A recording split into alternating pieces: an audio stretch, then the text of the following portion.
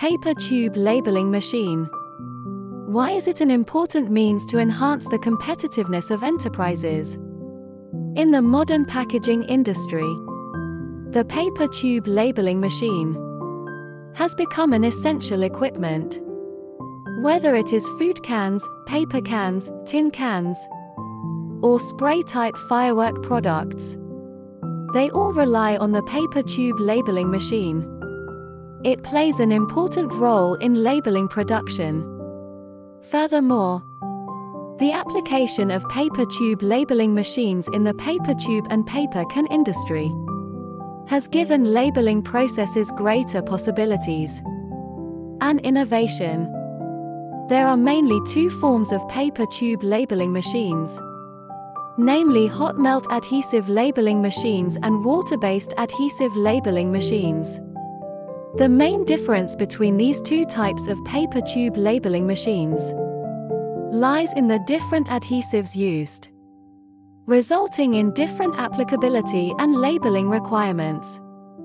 Hot melt adhesive labeling machines, with their strong adhesive strength and fast drying speed, are suitable for high efficiency and high quality labeling demands. Water-based adhesive labeling machines, on the other hand, have the advantages of being environmentally friendly and easy to operate, making them suitable for variable and short-term small batch production. Although they differ from each other, both types have good adhesion and high efficiency, and are widely used in various product packaging. As a good helper for firework manufacturers, to create benefits, paper tube labeling machines. Can not only enhance the quality and added value of products, but also improve production efficiency and shorten the production cycle, thus creating greater profit margins for enterprises.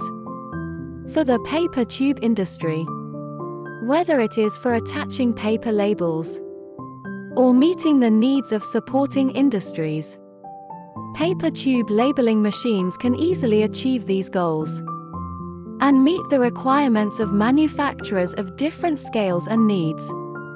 Kylin Machine always providing such good machines for your production.